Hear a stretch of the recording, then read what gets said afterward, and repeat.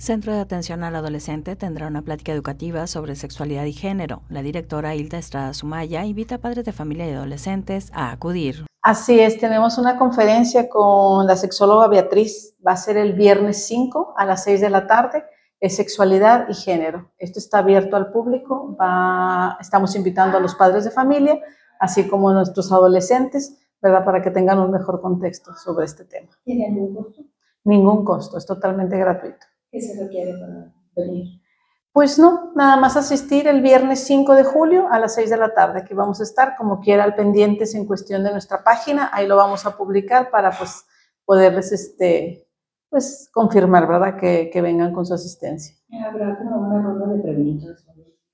No sé cómo lo maneje ella, pero yo pienso que sí, porque ella sabe que nosotros trabajamos con los adolescentes, entonces pues queremos que sea interactivo, ¿verdad? Que ellos también puedan participar, que pues quiten dudas y cosas que ellos tienen acerca de lo de género, que es lo más que queremos que toque. ¿Sería el papá tiene que venir el hijo o puede venir? No necesariamente. Sí quisiera que incluyera a los papás, porque es con los que nosotros trabajamos aquí con los adolescentes y a veces los papás como que un poquito se nos escabullen, ¿verdad? Por ahí, pero sí quisiera que ellos vinieran personalmente, los padres de familia, pero son bienvenidos todos, cualquier persona puede asistir.